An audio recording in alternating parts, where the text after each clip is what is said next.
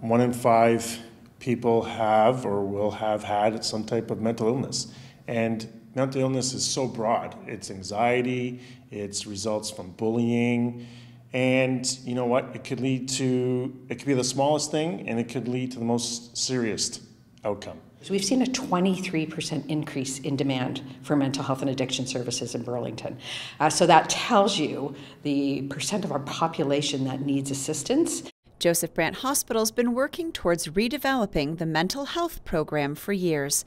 Michael and Laura Paletta have made a $5 million donation kicking off the redevelopment with the new For All Minds campaign. So the goal is $20 million. Uh, so this certainly gives us an incredible start to that. And what we know is that we've seen great enthusiasm from our community and have full faith that everyone's going to come together and, and help us reach our goal.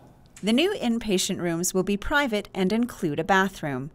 There will also be new therapeutic spaces for group sessions and family visiting. In addition to the existing courtyard, a third floor garden will expand patients' access to green space. What we've designed is a two level uh, service. Currently, right now, we have one level. Um, so we will have two full units, uh, and they will be both inpatients, uh, some of our outpatient clinics that are really quite directly aligned with our inpatient community.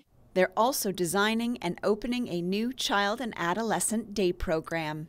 Children and adolescents with mental health uh, concerns uh, do better when they can stay at home and receive treatment closer to home.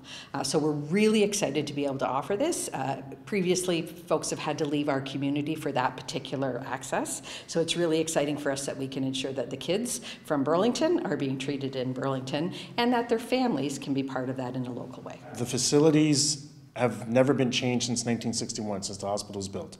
So we definitely need better facilities, more access to facilities, and more access to support. I think having rooms with, with restrooms and a place where somebody who's going through something like that, you need privacy. And that's one thing that they weren't able to do before. That the like the care will always be the same because it's amazing, but it's the space. So when you're struggling with depression, when you're struggling with addiction, when you're struggling with, when you're a parent struggling with a child with addiction, you can't be in a room with four or five other people and expect to have solace and healing. The hospital is looking forward to being able to offer the dignified space to heal right here in our community. We know that for any health, asking folks to travel is not something, it's a burden.